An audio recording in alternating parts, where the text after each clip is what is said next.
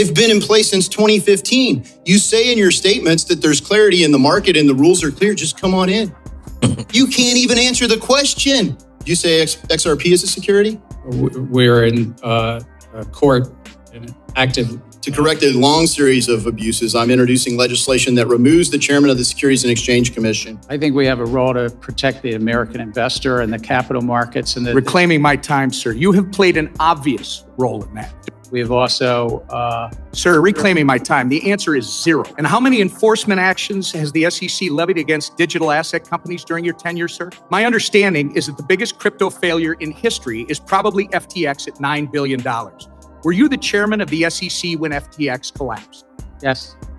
and I'm asking you, sitting in your chair now, to make an assessment under the laws as exist. Is Ether a commodity or a security? Without speaking to anyone. I know you've okay. repeatedly said you're not going to speak to facts. one, except you've spoken to one. Bitcoin. Is Ether a commodity? Or a security. And again, it depends on the facts and the law. And if there's a group of individuals. I'm asking about the facts and the law sitting in your seat and the judgment you are making. Chairman Gensler, in advance of today's hearing, did you coordinate acceptable responses with Senator Elizabeth Warren? No, I'm speaking on my own behalf. If it prevents people from developing open source code and from being part of that, that is a tremendous loss for everyone. So confidential. So don't uh, hold on a second. Don't hide behind the DOJ because then it sounds like I need to send letters to the DOJ and not to the SEC about the SEC charges. I'm sure you heard about Ripple. Ripple was built just for the purpose of remittances using that platform. But don't really? think for a second that all the primaries at Ripple are not hugely invested in XRP themselves, right down to everyone that owns Ripple stock.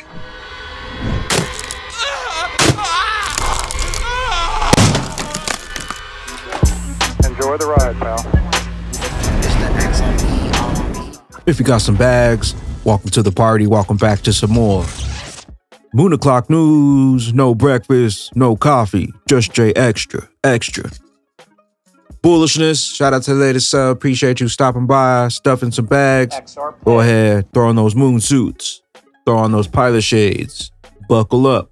Cause the future's extra, extra. Bullish, let's go full speed, full throttle into the cryptoverse. We got the total global cryptocurrency market cap today at 1.33 trillion, up almost 2% in the past 24 hours. We got XRP here right around 51, 52 cents, up almost 2% in the past 24. Stellar XLM right around 10 and a half cents, up 0.6 in the past 24. BTC 30K, ETH around 2K. We got Flare Networks here right around three and a half cents. And we got Songbird right at a penny, up almost 10% in the past 24. Digital asset investor is XRP security. Warren Davidson tells Gary to his face he's proposing legislation to fire him. Get company public. Uh, yeah. Uh, the, the staff of the SEC does review those to see that they're in compliance. Correct. Is Coinbase a publicly traded company? I'm sorry? Coinbase is Coinbase publicly traded? Uh, yes. All right. So the SEC allowed pension funds and retail investors to invest in a company, Coinbase, that you apparently, from prior remarks, believe was engaging in illegal activity. Uh, all of their activities were laid out in their public filings in the S- S1 prior to the IPO. Uh, you did say that you believe Coinbase is selling unregistered securities, correct? Um, again, I'm not going to speak to anyone. No, but you said that they're selling unregistered securities. This is your public comments. Uh, I, I think, uh, with all respect, I look forward to you finding that because I've trying to be very careful. I'm we'll, not speaking we'll help refresh your memory. Company. Uh, in the Kim Kardashian settlement, the SEC stated that Ethereum Max is a security. She reached a settlement for promoting an unregistered security. The unregistered security is Ethereum Max. Have you charged the issuers of Ethereum Max for offering an unregistered security? We reached a settlement with a celebrity, Miss Kardashian. Yeah, but but not she just promoted it. She doesn't operate Ethereum Max. Have you said that uh, Ethereum Max is an unregistered security to the people that offer it? We we did in that settlement, yes, sir. Okay, uh, it's still trading. Uh, what about Ethereum? Is Ethereum now a security? Uh, we had this. I heard your exchange. They've been in place since 2015. You say in your statements that there's clarity in the market and the rules are clear. Just come on in. you can't even answer the question you say X, XRP is a security? We're in uh, court in active uh, discussions and litigation on that. You're in litigation because you do say it's a security.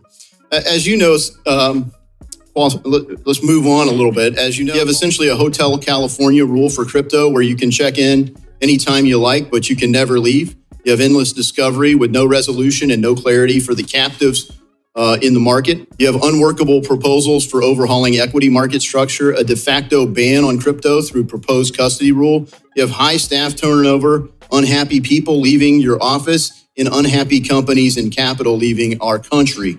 Uh, to correct a long series of abuses, I'm introducing legislation that removes the chairman of the Securities and Exchange Commission uh, and replaces the role with an executive director that reports to the board where all authority would reside. Former chairs of the SEC will be un- ineligible under my pr- proposed bill. Uh, and this isn't just my take, it resonates across the political spectrum. The American people want democratic access to capital, retail investor participation. You can't just exclude retail investors from markets and claim it's for their own good.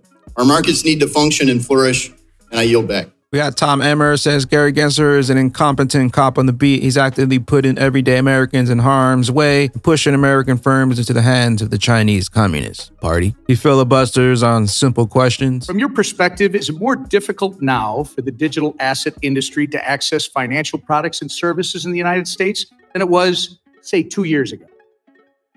Sir, I, I, am not running one of those businesses. If they came into compliance, I think reclaiming my time. The answer, sir, is yes. Do you think you and the SEC have had a role to play in that? I think we have a role to protect the American investor and the capital markets and the reclaiming my time, sir. You have played an obvious role in that. He's finalized zero rules for crypto companies to comply with, yet he abuses the SEC's enforcement powers against them. During your tenure at the SEC, how many rules has the SEC finalized that actually accommodate the existing regulatory framework and are specifically to the digital asset industry so the crypto market can come into compliance? It's our rule books that are on the books for years, so we have not finalized any new rule specifically with regard to crypto. We've proposed some things in best execution.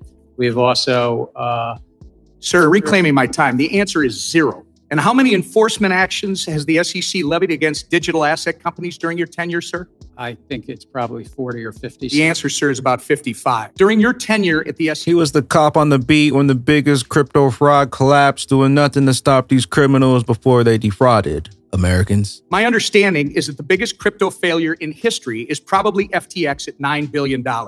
Were you the chairman of the SEC when FTX collapsed? Yes. And how many times did you meet with FTX prior to their collapse? I think my public record shows two. You met it with FTX at least twice. And arguably, the second biggest crypto failure in history was Terra Luna. Who was the chairman of the SEC when Terra Luna collapsed, sir? We had brought. Uh, you were, sir, reclaiming my time. I hope Gary likes his steak. Well done. Meanwhile, Ripple powered money tap adopted by three major Japanese banks. It has been revealed that the three major banks belonging to Yamaguchi Financial Group will introduce Money Tap personal money transfer service for their customers. The Money Tap app is a smartphone based service powered by the Ripple Net. Money Tap was first introduced in 2016 by SBI Ripple Asia, a joint venture between Ripple and SBI Holdings. And remember, all banks using XRP by 2025. Patrick McHenry confronts Gary Gensler as Ether a security or a commodity. We got crypto law US. Uh, back in 2018, then SEC Corporation Finance Director Bill Hinman uh, stated that he believed Ether was not a security. Uh, last month, CFTC Chair uh, Behnam expressed his view that Ether is a commodity. The state attorney general of New York asserted in a court filing last month that Ether is a security. Clearly, an asset cannot be both a commodity and a security. Do you agree? Um, I, I actually, all securities are commodity under the Commodity and Exchange Act. It's that we are excluded commodities. But I would agree that a security cannot be also an excluded commodity and an included commodity. I'm sorry, Chair, just to talk about the Commodity Exchange Act more precisely. Okay, so do you recognize, uh, how would you categorize Ether then? I think that the general sweep of what Congress did, not just in the 30s, but as amended. I'm asking you, sitting in your chair now, to make an assessment under the laws as exist is Ether a commodity or a security? Without speaking to anyone. I know you've okay. repeatedly said you're not going to speak to one, except you've spoken to one Bitcoin. So I'm asking you to speak to a second one, the lar- second largest market cap here. And speaking to the tokens, there's 10 to 12,000. If there's a group of entrepreneurs in I'm asking middle about the one. public is anticipating a profit based on the. I'm asking a specific question, Chair Gensler. I said this in private. This should be no shock to you. I'm asking this question. Is it an is ether a commodity or a security? And again, it depends on the facts and the law. And if there's a group of I'm asking about the in facts and the law sitting in your seat and the judgment you are making. And so, uh, Mr. Chair, I think you, you would not want me to prejudge because I'm also. But you have prejudged on this. You've taken you've taken 50 enforcement actions. We're finding out as we go, as you file suit, as people get Wells notices on what is a security in your view, in your agency's view. I'm asking you a very simple question about the second largest digital asset. What is your view? And my view is, is if there's a group of individuals in the middle, middle that the public is All right. So let me just ask a second question then. Do you think it serves the market for an object to be to be viewed by the commodities regulator as a commodity and the securities regulator to be viewed as a security? Do you think that provides uh, safety and soundness for for for Gary's just a puppet. Eleanor Terrett says right off the bat, Patrick Mahoney asks whether Gary Gensler thinks ETH is a security. Is Ether a commodity or a security? After several minutes of back and forth, Gary still refuses to answer and keeps talking around the question. 801 XRP, Warren Davidson speaking to Gary. Did you coordinate with Senator Elizabeth Warren on your answers today? Uh, the chair now recognizes the gentleman from Ohio, Mr. Davidson, for five minutes. Chairman Gensler, in advance of today's hearing, did you coordinate acceptable responses with Senator Elizabeth Warren? No, I'm speaking on my on behalf. Did you coordinate with Democratic staff? And I ask because it happened before, and I want to be clear whether you operate of your own accord or whether there's some sort of coordinated approach to the damage that you're inflicting on America's capital market. Um, I'm, I'm here as, as sitting in my role as chair of the agency, but I speak uh, and I get you know remarkable support by uh, SEC uh, staff. All right. Well, I have a few quick questions. Gary's role is a puppet. Meantime, in the United States, the largest exchange in the U.S., Coinbase, which has done everything it can to be compliant, is thinking of leaving the U.S. Although two years ago it was allowed to go public by the SEC, what changed in two years? Watcher Guru Justin, the UAE regulator, to accept license applications from crypto firms seeking to provide services in the country. The SEC Gov is moving towards DeFi oversight as it reopens proposed regulations. I view this as a very consequential moment, Commissioner Hester Peirce says, addressing her dissent. Yeah, I mean, I think we really need to talk about this because if it prevents people from developing open source code and from being part of that, that is a tremendous loss for everyone. So I, I really just think we need to get some clarity um, on on some of these basic issues. I, I view this as a very consequential moment. And again, maybe others will read the document and come to a different conclusion. I hope that I hope that they do. And if they do, I'm I'm I'm all ears. If people think that I'm overreading it, um, you know, please let me know that as well. But but based on on what's there and what I got in response to my questions around the, well, we'll kind of know it as we look at facts and circumstances. I just don't know how that gives someone ex ante any confidence when someone sits down and says, hey, I want to be a developer in this space. SEC versus Ripple, we have always said that we would love to settle, but it requires one very important thing, and that is that on a go forward basis, it's clear that XRP is not a security. Digital asset investor on Gary not turning over the FTX documents to Congress. What a national embarrassment. I believe in congressional oversight, and I know Okay. the state's All right. working. Moving on. Moving on. Uh, I'm taking that as a no. So the climate disclosure request, you res- uh, like that. You're responded to our FTX request solely with publicly available documents. Uh, to date, 213 pages of those publicly available documents have produced. And guess what? Uh, you didn't give us anything surrounding the charges filed against Sam Bankman Fried. Uh, on April 12, uh, Mc, uh, Chair McHenry and I sent you a follow up letter, and uh, I, I, we're led to believe that the staff recommendation memo presented to the commission for a vote on charges against Sam Bankman Fried exists. Is that true? Is there a memo from the staff recommending to the commission the, the charges that Sam Bankman Fried was uh, was ultimately charged with? Under standard practice, our commission receives action memos from the staff. Whatever. So it does exist. It, we we work on on. So it does exist. Okay. Well, you haven't sent that to us. Um, your staff has frankly told us that it exists, yet you have not sent it. When we conduct an investigation, we are obliged to keep investigative matters confidential. So don't uh, hold on a second. Don't hide behind the DOJ because then it sounds like I need to send letters to the DOJ and not to the SEC about the SEC charges. So we'll be following up with this after uh, after this. My time has expired. This is the clown holding up American innovation in XRP, the Ripple Net, and the historical landmark case, but they have no answers. Cross border payments. Cross borders will stop using SWIFT and use stablecoins or bridges between the banks, or I'm sure you've heard of the Ripple Ripple Net. You were asking me about cross border.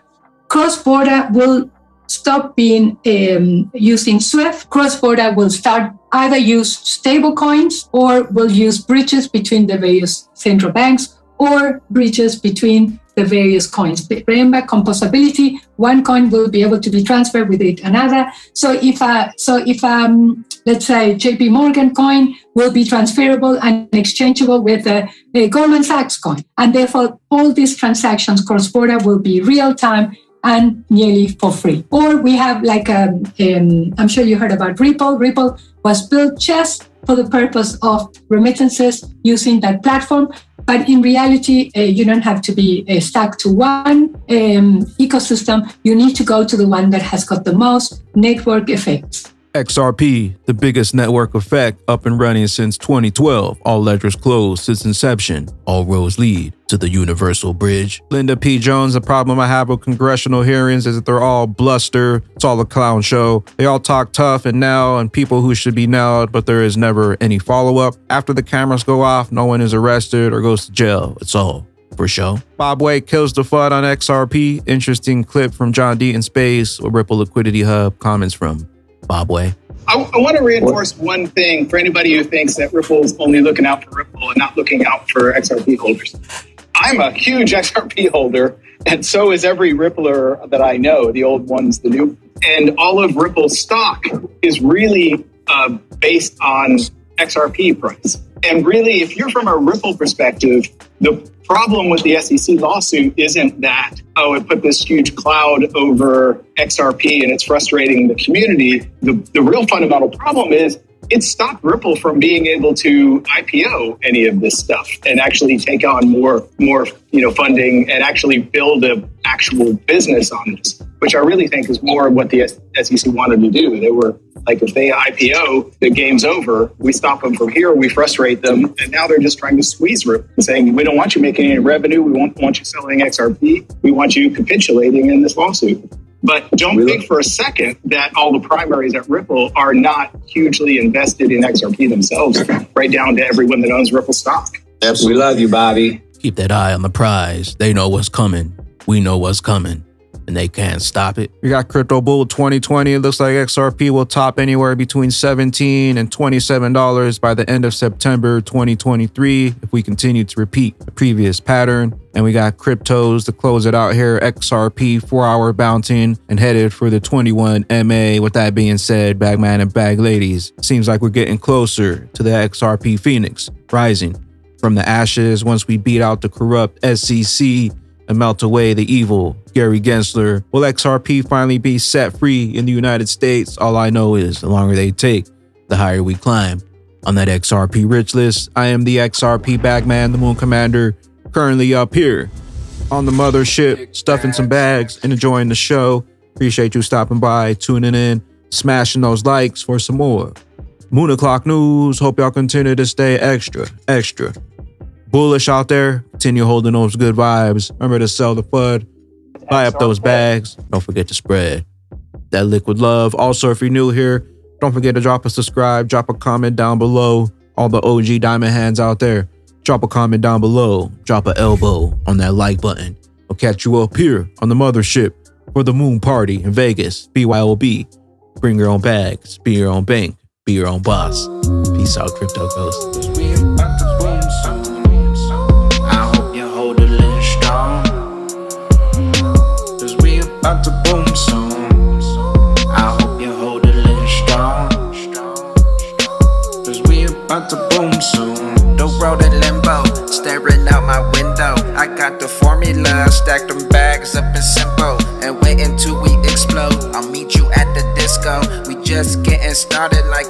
Intro.